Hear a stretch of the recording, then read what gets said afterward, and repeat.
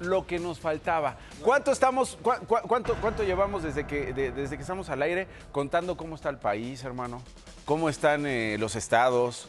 ¿Cómo estamos de ánimo? ¿Cómo está la política en México? Y si algo nos faltaba, porque en este país no puede decir, no, ya nada puede ser peor, con tanto maldito microcismo, con tanta corrupción, con tanta impunidad, con los políticos impresentables, funcionarios públicos eh, impresentables, ya nada puede ser peor. Aguas, no puedes decir eso en México porque entonces todo se pone peor. ¿Y qué crees que pasó, hermano? Lo que nos faltaba. El popo, nado. La mujer dormida y Don Goyo rugiendo. El volcán Popocatépetl registró una nueva explosión a las 19.48 horas de ayer. Vamos a ver las imágenes. Jorge, si te parece bien, el semáforo volcánico a cargo del Centro Nacional de Prevención de Desastre, el, el Senapred, se mantiene en amarillo 2, lo cual indica, a ver, ahí están las imágenes. Avísenme pues, que me mueva pues, para que podamos ver allá. ah, mira, ahí está. Amarillo 2, lo cual indica un incremento en la actividad. del gobernador de la entidad, Sergio Salomón, ha dicho que en 11 municipios de Puebla, saludos a Puebla, se suspenden las clases presenciales debido a la caída de ceniza. Además, las autoridades pidieron a la población mantenerse informada por medio de los canales oficiales ante la actividad volcánica. En serio, lo que nos faltaba. Con más detalles de esto, saludo y le agradezco mucho a mi colega Juan Carlos Valerio, titular de Imagen Noticias Puebla. Juan Carlos, ¿cómo estás? ¿Cuál es la situación allá en Puebla, querido Juan Carlos? Qué gusto saludarte. Pues estoy de la tiznada, mi querido Nacho, y así, ¿eh? Literal, literal.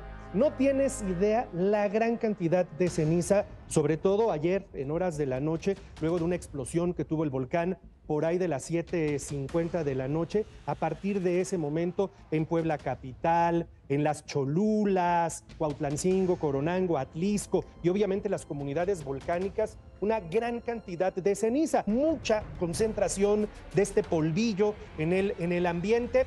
Pero sin embargo, dicen los propios científicos del CENAPRED, que son los que monitorean al volcán, que la condición no es diferente a otras que ha habido en el pasado y por lo tanto, fundamentalmente lo que piden es que mantengamos la calma porque no habría un riesgo mayor de una explosión mucho más grave que pudiera ponernos en riesgo. Bueno, por lo pronto este anuncio de las autoridades, mi querido Juan Carlos, de suspender las clases, creo que es lo más prudente porque no es que la calidad del aire eh, garantice que eh, los niños no estén en riesgo, que los profesores estén en riesgo.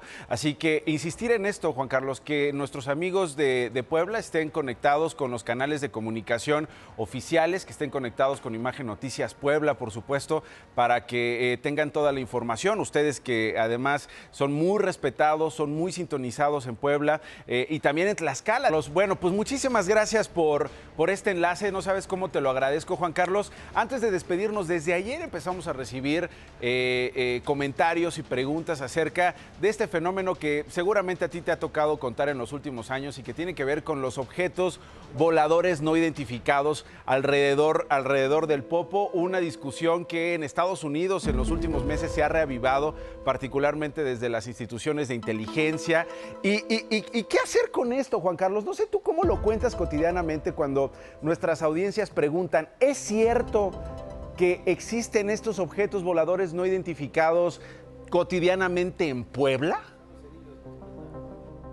Mira, eh, yo también he visto estas, estas imágenes aquí en los programas de Puebla, las hemos, las hemos comentado, es algo que llama que llama mucho la atención. Hace muchísimos años, Nacho, a lo mejor en la década de los 90 se hablaba de avistamientos de ovnis en la zona de Atlisco, que es una de las regiones cercanas al cráter del volcán Popocatépetl, pero lo que sí es cierto es que luces como esta que estamos viendo en pantalla, este tipo de desplazamientos, Vaya, quizás a lo mejor los vemos porque hoy volteamos a ver al volcán, sobre todo en las noches volteamos a ver al volcán, pero si me preguntas qué es, no tengo la más remota idea.